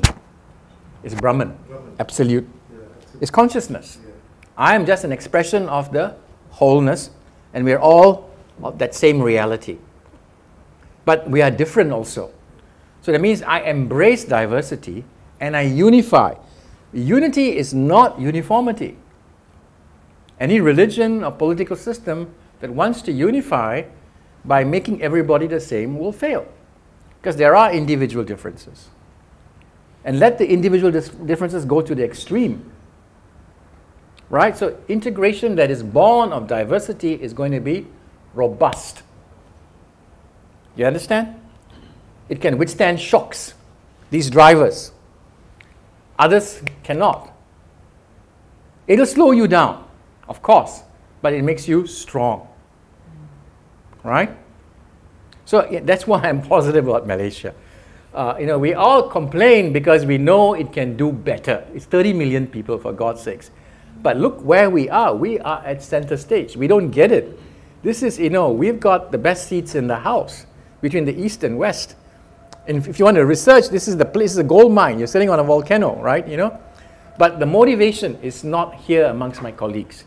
The easiest response is, I want to get out. You know? Why bother? I mean, uh, come on, I go through this every day. I can't change the system. But I don't mind living here because it's comfortable, it's cool, I can hang in Bangsar. But more on this, Malaysia is not Bangsar. Malaysia has got all this, like you were saying. But I don't need to know that. My friends are making money, they're traveling here and there. I want to be like them. This is the kind of elite Malaysian thinking, and we're still living that. But even with all these challenges, as you raise, uh, Arjun, it's still got a future. It slows us down, but it'll be a robust society. Even now, with all these things we hear in the media, right? Oh, it's going to lead to segregation. Uh, and we're on a slippery slope because these guys are saying this. But I don't see violence. Do you see violence? I don't see that kind of, uh, you know, even Thailand, which is the darling for Westerners. Oh, Thailand is better than Malaysia. You know, you, are from Malaysia. Yeah, but you know, I would say Malaysia is more stable than Thailand. Is it true? It is. It's true. We don't have coups. Now, we are moderate. We have high power distance, but it's warm and friendly. It's a culture of compromise. So I'm positive. I could be wrong. I could be wrong. But this has been my experience. It's slower. But remember, we're also diverse, right? 30 million people is not a very big population, you know. Of course, by that same token, we should have advanced more. But instead, we have gone, we're stuck in this middle income trap because we want to bring everybody along. The argument is, you know, it's not everybody, it's only for this group, right? And so there has to be some kind of a, you know, some negotiation. But some saying, no, it's never going to happen. This group is we're going to lead to segregation. I don't think so. The genie is out of the bottle. People realize the, the value of giving and taking from the diversity. They don't want to retreat into their own caves. You understand? Okay, now I want to finish up this. I want to go into the research itself, the publications, and then some of the things we talked about, if you don't mind. Now, I won't be offended if you have to leave, okay? Uh, but if you want to continue, we can continue, yeah. I give you, so far what I've just given you is the background, right? So we all know this. Uh, the future of jobs, right? We've, we've seen this many times. Uh, it's on the World Economic Forum, right? Um, it's a simplification, and I think uh, Geoffrey is working on this as we speak. And I've got this book that's coming out.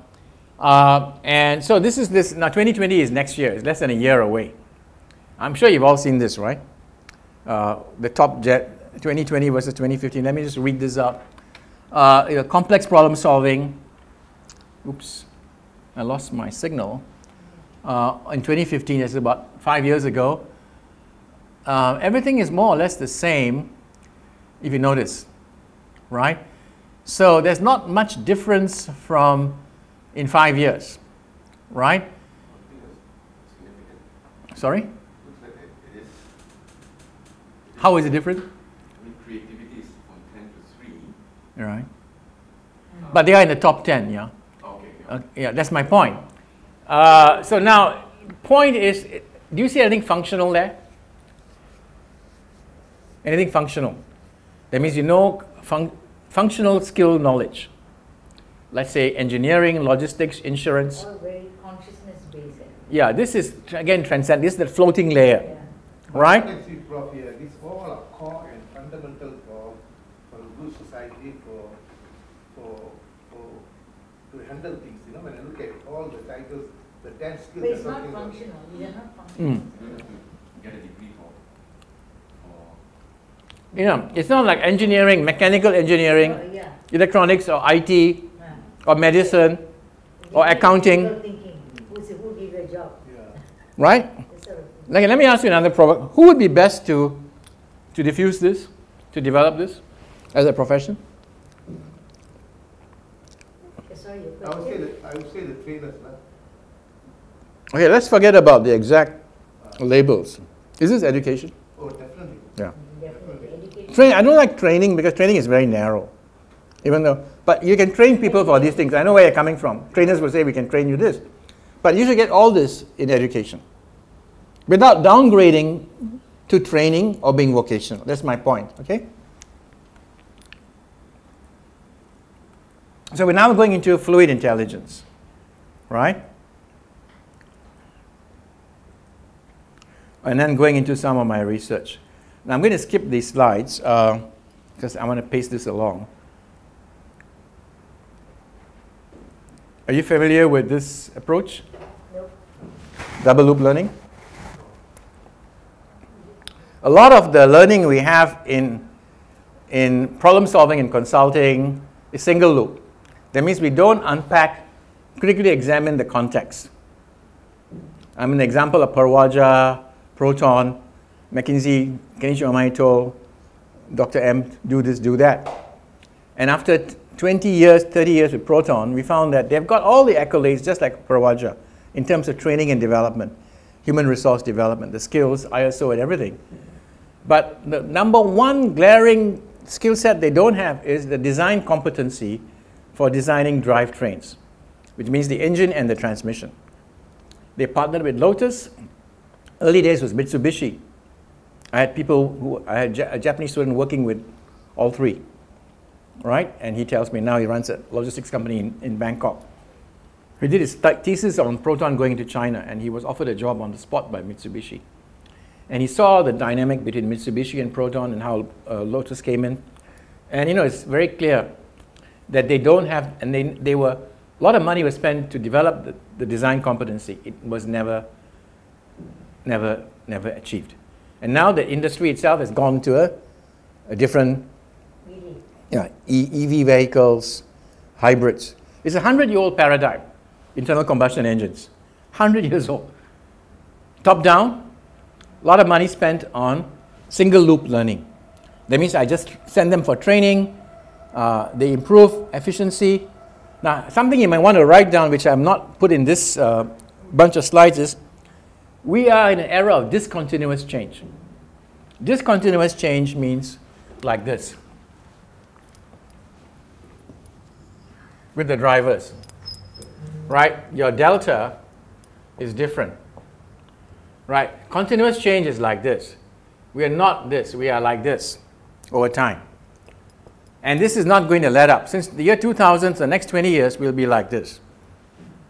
Our TQM, balance scorecard, our continuous Kaizen, manufacturing is continuous change, steady state.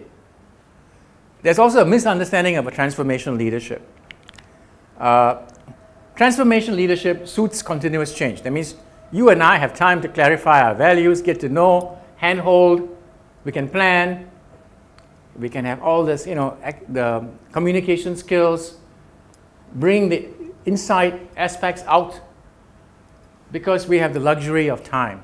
When we have disruption, discontinuous change, it's urgency. You understand? Right? So the, the, the kind of meme involving continuous change is misunderstood. When I say transformation, my students usually think it's here because they have this kind of a Superman image. Superman comes to a situation where the drivers are whacking you, there's urgency, oh, Superman is here. So transformation is for urgency in disruption, discontinuous change. No. When you are in this state of change, discontinuity, uh, it has to be directive. And relationships are transactional. This is the irony. Because I, you know, I may like you a lot, Jerry, but nothing personal when I yell at you. Get it done. I, we have no time to reflect anymore. Why are we discussing? I've experienced this myself. My boss said, Why are we still discussing this? I thought we have already resolved this. You should tell him to, he's, he's telling me to tell off my subordinate for confusing the issue. No, we all get along well. But Prof, can I something? Yeah. Now, this I reading the Harvard Business Review. There was an article on, basically on leadership. There's one article on emotional intelligence. Mm. And what the author says uh, that emotional intelligence is so fundamental for performance and other things. They say that we are together, working together. This I'm your subordinate. Mm. You pass in, in relation culture, Mm. you pass a certain remark and it hurts me very much. I think I will not be comfortable with you. Yeah. It's not such a thing that yes, done, we can forget about it. No, of course, yeah, it's going to linger. I, I- I know, I mean, everybody goes through, you're not the only one. Yeah. I mean, we can all relate to that. I wish they could have been a bit more sensitive because it takes so much time for me to heal from this and it's unnecessary. Yeah, true. That is, see, that is always true. That's baseline. Yes, yeah. There is no, I'm talking about going beyond baseline to the kind of leadership we want. Somebody who's oozing with charisma and all that, uh, it, that's transformational. The, the research and what is going on in the sea changes of disruption we see, and this thing is not going to let up. It's not so good news. We will have short periods of equilibrium, you know, this kind of plateau here, here, and here, where we'll have rest phases. Then we can have the hand holding. But otherwise, it's going to be quite relentless. It's going to be onslaught, onslaught, onslaught, uh, urgency driven. Now, what you're raising is baseline. I think it's, you always have to be respectful. But the idea of transformational means somebody who comes in and just changes dramatically, right? If you look at the actual instances, that's confounding transformational leadership with charisma at certain inflection points in the evolution of a society. It's not a management toolbook, toolbook approach. And the, the news flash is we're going to be going through this for another two decades. And that means it's urgency. Nothing personal. That's one of the reasons why the strong men are back, whether it's Xi Jinping or Dr. Emmons or Trump. Do you understand? Right? Now, here, when you have continuous steady state change, you and I have time, right? And the process is intrinsically transforming. All the psychobabble will kick in. Okay? Now, I don't mean to be disrespectful, but I'm just going telling you, it's not my opinion, I'm telling you what is there. Okay? Right? So, thinking out of the box. Now, let's go to the next slide. Let's come back to this. I'm going to go into higher order learning, which is non functional. Okay?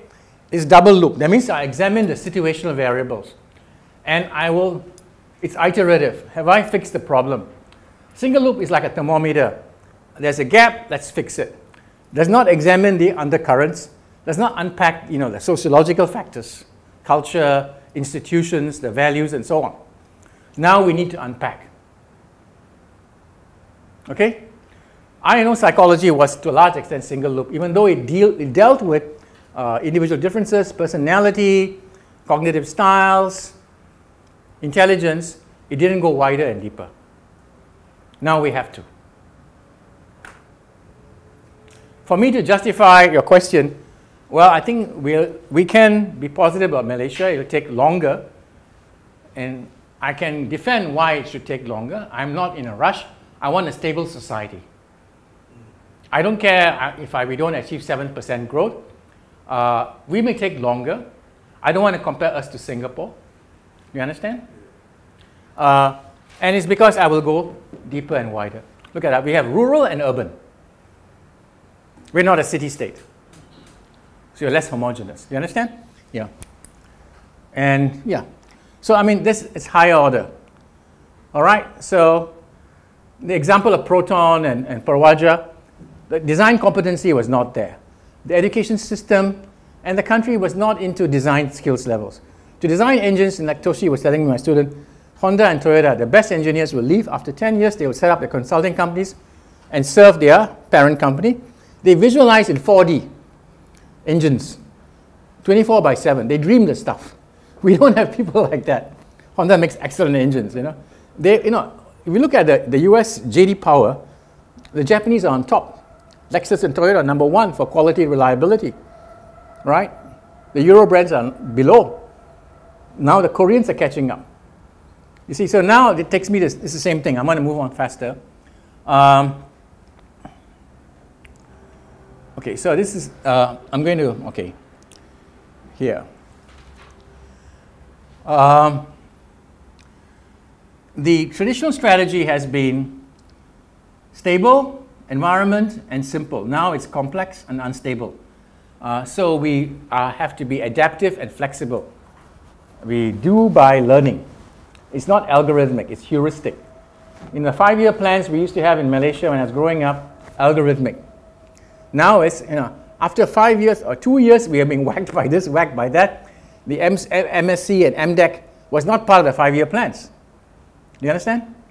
Basic things, yes, five-year plan. So it's algorithm means like computer program, guarantees solution, but it can be going in the wrong direction. Now recently, I think it was uh, Daim, right? Daim, Tun Daim was saying that our education policy is not about analytics, it should be about the knowledge society. He was correcting Maszlee. You understand? Eh, just like we don't have people who can code, we don't have people who can design drive trains. We can't do this overnight. We're not a knowledge society where we, can have, we have design competencies. Remember, identify, isolate, identify, synthesize, simulate, just like those guys who can design. You watch F1 races, right? The pit crews are looking at computer screens. There are sensors in the cars.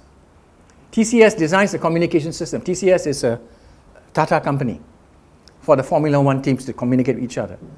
And they also have Ferrari's chief innovator for designing the engines.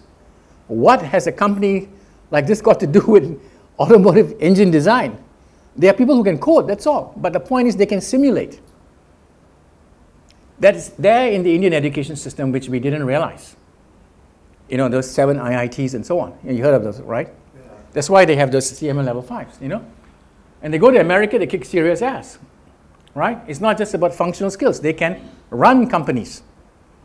55% of startups are from that country in, in, in Silicon Valley.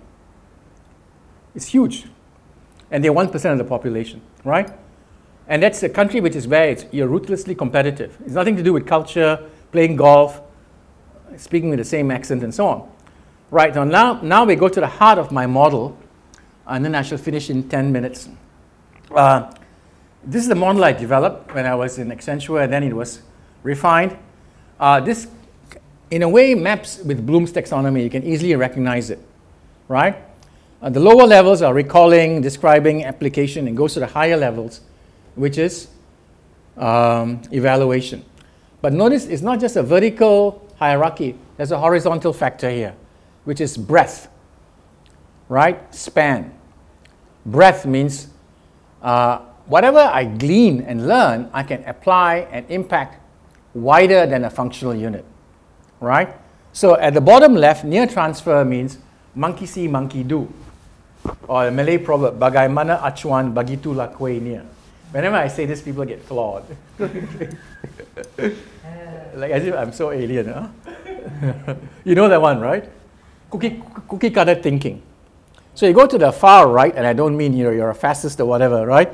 You um, are able to span the boundaries. Now, this is interesting. The ones who are, I notice, who are in talent management, in the knowledge capital firms like consulting firms, the, the brand ones, huh? the big names, they are capable of doing this.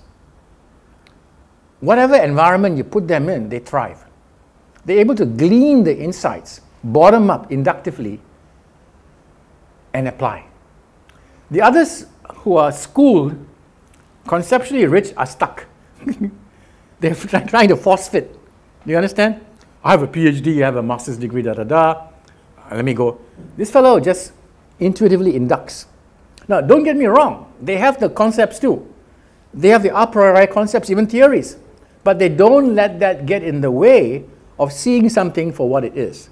They are able to unfreeze, to transcend. That's my point. And so they can thrive in any environment. So far transfer is zooming in and out of context, fluidly, effortlessly. Now I can go beyond any organizational unit across organizations in the industry. Can I go even beyond the industry? Yes. Is it necessary for, or valuable for me to go beyond the industry? Yes. Let me show you an example. I want people who can evaluate diversity in stakeholders, right? If I was running a logging company in Sarawak, right? And I, I used to discount the activists or the traditional people, the Penan. I'll say they're a nuisance. Uh, they're not really going to bother us because you know we are investing in HRD. Our managers are well trained. Uh, we are generating revenues for the state government, right? And we are making profits. And we are listed in one of the best bourses in East Asia, in Hong Kong. These people who are bringing these issues up are creating a storm in a teacup. Shareholders are not interested. Is that a correct assumption? Wrong. When it happened to one company, they had to they were forced to delist from Hong Kong. I won't give you the name of the company. They were a client, right? Uh, these nuisances are now high on the radar. There are another driver is sustainability, which we had the chart just now. The you know the the change driver is attacking the knowledge company. Sustainability is a major driver. It's not a trend. Global warming was not a driver 20 years ago. Today, it's in your face. Trump may try to ignore it, but he can't, right? So here, this is not something to be dismissed, right? So the ability to evaluate diversity is very key. You understand? You'll be right on top there. You can go across industries.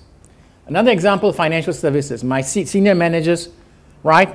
Why should they know something, anything about the healthcare industry? We are in finance. They can partner, right? Leasing, providing credit. People want credit cards, they can use long-term health benefits, insurance, right? I must think of the industry drivers in other industries. Again, it's the same kind of problem-solving skill sets, okay? So this is a model which I developed when I was, we were proposing for tech transfer in KLIA. We got the job and we got lobbied out. I can't say anything anymore because we were deemed to be a foreign company, but we were not, okay? Uh, and uh, we were 300%, 300, 300 Malaysians. And we had partnered with a Hollow company. And again, basically over here, we have north means, uh, and south, south is near transfer. Monkey see, monkey do, uh, Achuan thinking, domain thinking. And then what we want is northeast. That means I want the depth of the domain plus the ability to zoom out beyond the domain to be interdisciplinary or even domain free. This is the vital kind of thinking we need now, right? And uh, functional development is vertical and business breadth. And it's not, a, it's not monotonic. It's like setting up base camp. It's a zigzag kind of thing, but overall trend is progressive, just like in discontinuous chain. We need to develop this, but we don't knee-jerk react to go to vocational skills training. We stay true to this roots and then we'll take care of this. Somehow we've lost our way. Do you understand? And the pace is not going to let up, okay?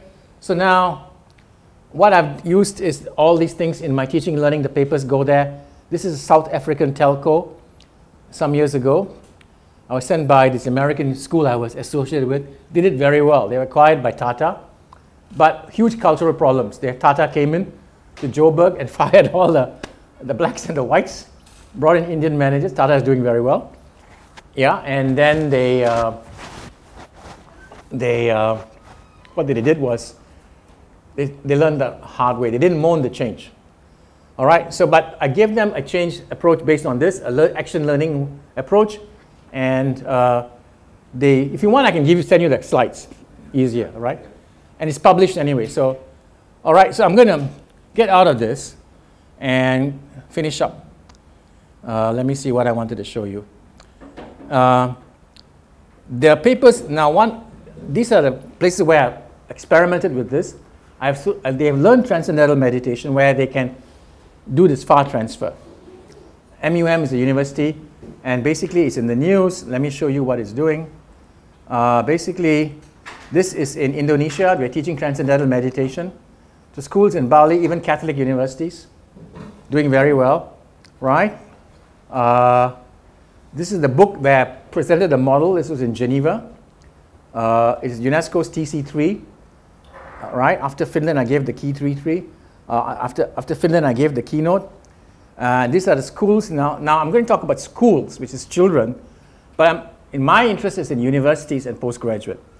Uh, this is San Francisco's toughest school. This is a Guardian, where they learned transcendental meditation, bullying, and everything went down. The grades went up. Now, I really want, you know, it's a lot of work, but there are grants available. Do you think we can approach Mitra? Last time we saw the government has changed. Should we get Yeah, Tamil schools? I spoke to a guy called, uh, I got his WhatsApp, and Lechman is a guy there. They are interested, but being government, they will take their time. You know, but I think this is a big thing, and there are grants for schools. Now, I'm not a school guy. I'm a university postgraduate guy. My research is in postgraduate. But this school stuff is taking off in a big way. In India, in Thailand, Indonesia, which is our neighbor, right? America is big. These are tough schools in San Francisco. Many other reports, and they've got a. These are my papers: enlivening fluid intelligence. This is in Elsevier, and so on. So my model works with and without transcendental meditation. With transcendental meditation, it's even better. Now I know the key people. Fred Travis is a brilliant guy in EEG. Uh, he's writing and publishing with me in this current book, along with Dr. Chan. He, he's supposed to do it. and uh, he's writing the forward, plus the president of Maharishi University, a world-renowned phys- physicist, John Hagelin, okay? Uh, quantum unified field theorist from Harvard. He's writing the forward, and of course, our colleague, Jeffrey, right? Who is very stressed as I talk to him on the phone, and because I'm reminding him about his contribution. Uh, he doesn't want to hear anything about this room business, okay? So this is where it all started. Let me show you this guy. You know who he is? I've Yeah. seen the face. Yeah, yeah. Yeah, he is the CEO and founder of. Bridgewater. Yeah, yeah, you know the book. He says transcendental principles here. Yeah, yeah, that's a Transcendental meditation is the single most important factor of success. I had the videos lined up here. I sent it to Dr. Chan and he found the book interesting. Right? Let me show you a few examples and then we are done. We can get out of here. Uh, okay, this is Martin Scorsese, you know, right? He's a director.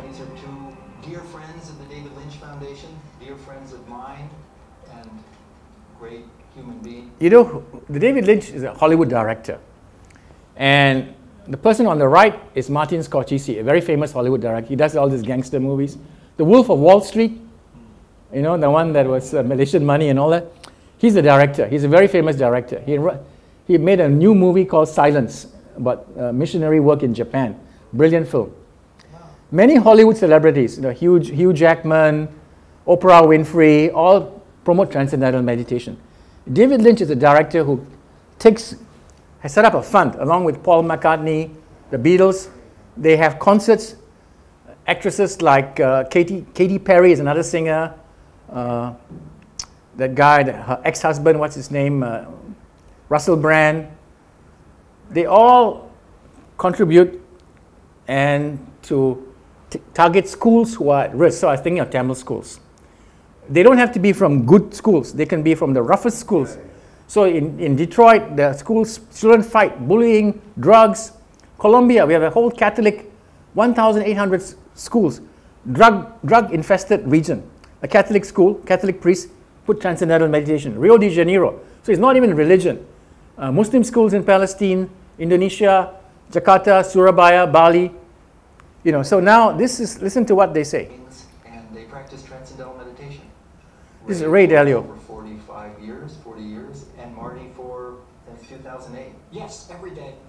Every day, twice a day, as much as I can twice a day. Um, the thing about it is that there's a kind of a, a peacefulness that I don't think I've ever achieved before. Really.